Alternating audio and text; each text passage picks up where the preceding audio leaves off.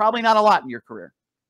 So that's interesting. This is the thing. When you talk, when you're in hands, you play by the sword, you die by the sword sometimes. It happened again at the US Poker Open. I had this guy, Martin Zamani.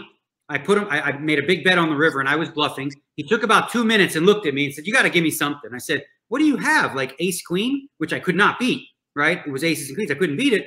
And he looked at me and said, Historically, when you tell people what they have, that means you can't beat it. I call. I'm like, Oh no. He watches way too much TV, right? So that's the thing is like anytime I've sort of said or did things, people can pick up on those patterns. And he's definitely right about that. I, there's lots of videos out there of me saying to a guy, you got aces or kings, don't you? I can't beat it.